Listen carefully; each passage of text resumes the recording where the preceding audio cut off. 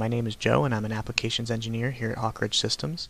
Today we're going to go over a new tool for 2014, the Angular Running Dimension tool, which you can find on the drawing side of SOLIDWORKS by uh, going to the Smart Dimension drop down and uh, choosing your Angular Running Dimension. Uh, you may have come across some of these complicated cylindrical parts uh, in your engineering travels. Some of them are pretty uh, difficult to draw or portray in a drawing. Uh, like this part here has multiple cuts, uh, holes, and even this little wedge cut here that runs all the way through the part. So let's take a look and see what this looks like using the standard Smart Dimension tool. Yeah, that's pretty ugly. There's a lot, lot of things going on here. It's pretty cluttered, and uh, your machinist might not be particularly happy with you if you handed him this drawing and asked him to make this part. So let's take a look at what happens when we use the running, uh, the Angular Running Dimension tool instead.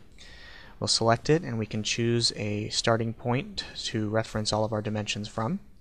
And how this works is you just uh, pick any vertices or hole centers that you'd like to dimension and just work your way around your part like so. And we'll finish that up there and call it good. And now you can see how we have the same amount of information as before, but without all the clutter. So we can clean this up even further by dragging these out a little bit and choosing to rejog our uh, dimensions here, and that'll clean up the text a little bit. But there's more that you can do with this. If you come here to the Leaders tab, we can actually choose to run this bidirectionally so that uh, your uh, angles start from the same starting point both clockwise and counterclockwise. We can uh, choose to extend the leader lines all the way to the center. And we also have the ability to change the text position. So we can put them in line and we can clean this up again by rejogging.